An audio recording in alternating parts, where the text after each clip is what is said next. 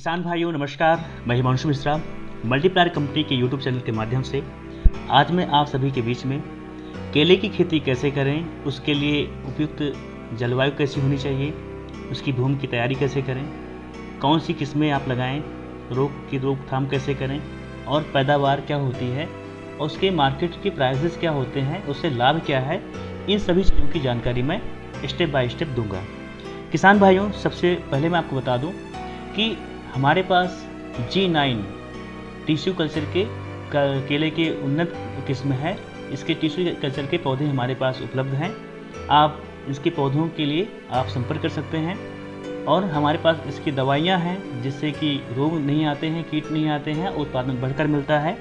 आप दिए गए नंबर पर उसके लिए भी संपर्क कर सकते हैं।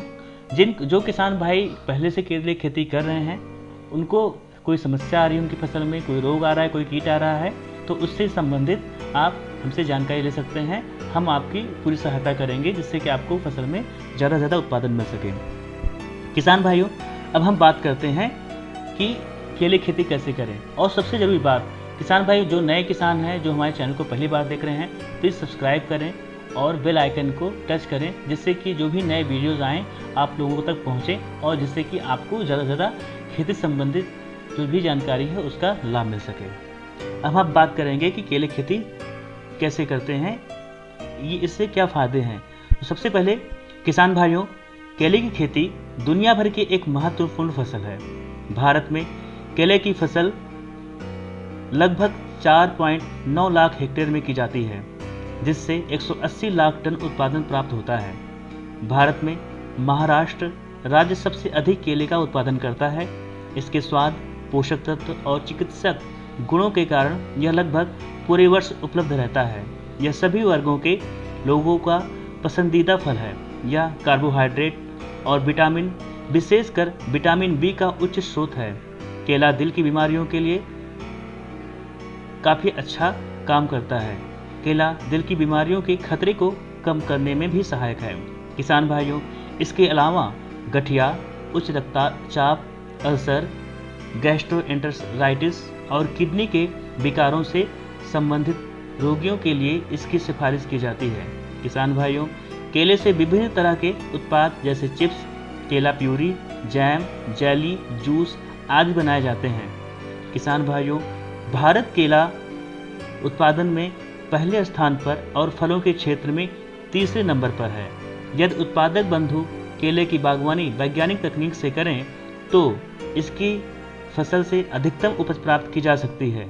इस लेख में, इस वीडियो के माध्यम से बागान भाइयों के ले केले की उन्नत खेती कैसे करें, उसकी हम पूरी जानकारी दे रहे हैं। किसान भाइयों, इसके लिए उपयुक्त जलवायु कैसी होनी चाहिए हम इसके बारे में आइए जानते हैं। केले के उत्पादन के लिए उष्ण तथा आर्द्र जलवायु उपयुक्त होती है, जहाँ पर तापक्रम 20 से 35 डिग्री सेंटीग्रेड के मध्य रहता है। वहाँ पर केले की खेती अच्छी तरह से की जा सकती है। वार्षिक वर्षा 150 से 200 सेंटीमीटर समान रूप से वितरित होनी चाहिए।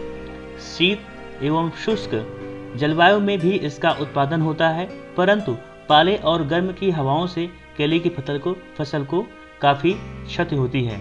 और इससे बचने के लिए हम आपको, हम, हमारे जो ट्रीटमेंट्स हैं, जिसे हम मल्टीप्लायर विधि कहते हैं, उसका उपयोग करते हैं। किसान भाइयों, इसके लिए उपयुक्त ज़मीन कैसी होनी चाहिए, भूमि कैसी होनी चाहिए, आइए अब हम इसके बारे में जानते हैं। किसान भाइयों, केले की बागवानी के लिए बलुई से मटियार दोमट भूमि उपयुक्त होती है, जिसका पीएच मान 6.5 से 7.5 और उचित जलवायु का निकास, जल का निकास होना चाहिए, आवश्यक है। केले की खेती अधिक अम्लीय एवं क्षारी भूमि में नहीं की जा सकती, भूमि का जल स्तर कम से कम सात से आठ फीट नीचे होना चाहिए। किसान भाइयों, अब हम बात करेंगे जी नाइन टिश्यू कल्चर जो मैंने आपको बताया कि जो हम पौधे आपको देंगे, उसकी क्या विशेषताएँ हैं, उसके रुपाई से क्या लाभ मिलने वाले हैं और दूसरी जो टिश्यू कल्चर के पौधे होते हैं, उनसे भी क्या लाभ होते हैं, इसके माध्यम से आए जानते हैं। सबसे पहले, अक्षय प्रबंधन के साथ केवल मात्र पौधे होते हैं। नंबर दो, कीट एवं रोग मुक्त विकसित पौधे, छोटे पौधे मिलते हैं, होते हैं। नंबर तीन एक समान बढ़त तथा अधिक उत्पादन देते हैं। नंबर चार, कम से कम समय में फ़सल की परिपक्वता, जिससे भारत जैसे कम भूमि स्वामित्व वाले देश में ज़मीन का अधिकतम उपयोग संभव है। नंबर पाँच वर्ष भर रोपाई संभव है, क्योंकि विकसित छोटे वर्ष पौधे वर्ष भर उपलब्ध कराए जाते हैं। नंबर छः कम अवधि में एक के बाद दो अंकुरण संभव है, जो फ़सल की लागत कम कर देते हैं। नंबर सात, बगैर अंतर के कटाई संभव। नंबर आठ पंचानवे से अट्ठानवे प्रतिशत पौधे में गुच्छे लगते हैं। नंबर, इसके बाद इसका रोपाई का समय क्या होता है? किसान भाइयों आए जानते हैं। जैसा कि आप वीडियो के माध्यम शुरुआत से देख रहे हैं, जो भी आप ये केले की फ़सल देख रहे हैं, इसमें सारी सभी फ़सलें जो है मल्टीप्लाइज बीज से की गई हैं, जिससे कि ये 50 परसेंट ऑर्गेनिक है 50 परसेंट केमिकल्स हैं। इसमें 100 परसेंट केमिकल का उपयोग नहीं हुआ है इस कारण से इस फ़सल में कोई भी रोग नहीं है, कोई भी समस्या नहीं है। और ये फ़सल बहुत ही अच्छा उत्पादन देने योग्य बन जाती हैं। जैसा कि आपने अभी आप और आगे वीडियो देखेंगे, जिसमें से कुछ फ़सलों के जो वीडियो हैं, जिसमें मल्टीप्लायर तकनीक का इस्तेमाल हुआ है, उसके उत्पादन किस तरह से मिले हुए हैं, हम देखेंगे इस वीडियो के माध्यम से। किसान भाइयों, अब हम बात करेंगे रोपाई का समय। तो 15 जून से 15 जुलाई केला रोपण के लिए सबसे उपयुक्त समय है। हालाँकि टिश्यू कल्चर के लेके रुपाई वर्ष भर की जा सकती है, सिवाय उस समय के जब तापमान अत्यंत कम हो या अत्यंत ज़्यादा हो। अब ये अत्यंत कम कब होता है? जैसे कि जनवरी, दिसंबर और जनवरी का महीना जो होता है, उसमें टेम्परेचर बहुत ही कम रहता है। उसमें 20 से कम रहता है ज़्यादातर, और 20 के नीचे केले की फ़सल नहीं लगाई जाती। और टेम्परेचर ज़्यादा की बात करें तो जैसे कि मई, जून इन महीनों में केले की फ़सल नहीं लगाई जाती, क्योंकि इस समय टेम्परेचर बहुत ज़्यादा रहता है। जैसे कि 35 से 50 के बीच में टेम्परेचर रहता है। कहीं कहीं पैंतीस से 45 तक ज़्यादातर रहता है, लेकिन कहीं कहीं 45 50 भी पहुँच जाता है। तो इसलिए इससे ज़्यादा का वो नहीं करना चाहिए। अब किसान भाइयों, हम बात करेंगे रोपण का तरीका। सबसे बहुत महत्वपूर्ण जानकारी है किसान भाइयों आइए देखते हैं। रोपण का तरीका देखें तो व्यवसायिक केला उत्पादक फ़सल की रोपाई 1.5 मीटर बाई 1.5 मीटर। अगर इस हिसाब से पौधा लगाते हैं तो एक एकड़ में सत्रह सौ सतहत्तर पौधे लगते हैं, पर उच्च घनत्व के साथ करते हैं। लेकिन पौधे का विकास तथा उपज सूर्य की रोशनी के लिए प्रतिस्पर्धा की वजह से कमज़ोर हो जाते हैं। इस समस्या के समाधान के लिए एक कृषि अनुसंधान संस्थान के शोध के अनुसार एक पॉइंट बयासी बाई एक पॉइंट बावन मीटर के हिसाब से अगर आप पौधा लगाते हैं, जैसे एक पॉइंट बयासी पौधे से पौधे की दूरी और एक पॉइंट बावन मीटर लाइन से लाइन दूरी अगर आप पौधे लगाते हैं तो इस तरह से एक एकड़ में 1422 पौधे लगते हैं कि अंतराल इस तरह इस तरह से आप करेंगे तो बहुत अच्छा आपको पौधा लगाने का दिखता है। दूसरी चीज़ें हैं किसान भाइयों, पंक्तियों की जो दिशा होती है, वो उत्तर से दक्षिण रखते हुए तथा पंक्तियों के बीच एक पॉइंट बयासी मीटर मतलब जैसे कि एक पॉइंट आठ दो, बयासी मीटर का बड़ा अंतर रखते हुए इस तरह से पौधे लगाएँ। और जैसे कि पौधों की पौधों की दूरी मैंने बताया, एक पॉइंट बावन मीटर। तो इस तरह से आप पौधे का रोपण करके बहुत अच्छा उत्पादन ले सकते हैं। किसान भाइयों, इस तरह से आप पौधे लगाएँगे तो एक एकड़ में चौदह सौ पौधे लगभग लगते हैं। उत्तर भारत में जहाँ आर्द्रता बहुत अधिक है और तापमान पाँच से साठ डिग्री से तक गिर जाता है, रोपाई का अंतराल दो पॉइंट एक बाई एक पॉइंट पाँच मीटर रखेंगे तो इस तरह से बारह पौधे प्रति एकड़ में लग जाएँगे। किसान भाइयों, अब हम बात करेंगे सिंचाई प्रबंधन की। तो किसान भाइयों, केला पानी से पानी से प्यार करने वाला एक पौधा है। अधिकतम उत्पादकता के लिए पानी की एक बड़ी मात्रा की आवश्यकता माँगता है। लेकिन केले की जड़ें पानी खींचने के मामले में कमज़ोर होती हैं। अतः भारतीय परिस्थितियों में केले के उत्पादन में दक्ष सिंचाई प्रणाली जैसे ड्रिप सिंचाई की मदद ली जानी चाहिए। केले के पूर्णवर्धित झाड़ या पौधे की प्रतिदिन 12 से 15 लीटर पानी की आवश्यकता होती है। इस प्रकार केले में पानी की आवश्यकता प्रति पौधा प्रति वर्ष लगभग 1800 से 2000 लीटर तक की होती है। किसान भाइयों, ड्रिप सिंचाई एवं मल्चिंग तकनीक से जल के उपयोग की दक्षता में बेहतरी की रिपोर्ट है। ड्रिप के ज़रिए जल की छप्पन प्रतिशत बचत और उत्पादन में तेईस से बत्तीस प्रतिशत वृद्धि होती है। पौधों की सिंचाई रोपने के तुरंत बाद करें। पर्याप्त पानी दें एवं खेत के क्षमता बनाए रखें। आवश्यकता से अधिक सिंचाई से मिट्टी के छिद्रों से हवा निकल जाएगी। फलस्वरूप, जड़ के हिस्सों में अवरोध उत्पन्न से पौधे की स्थापना और विकास प्रभावित होंगे। इसलिए केले में उचित सिंचाई प्रबंधन के लिए ड्रिप पद्धति अनिवार्य है।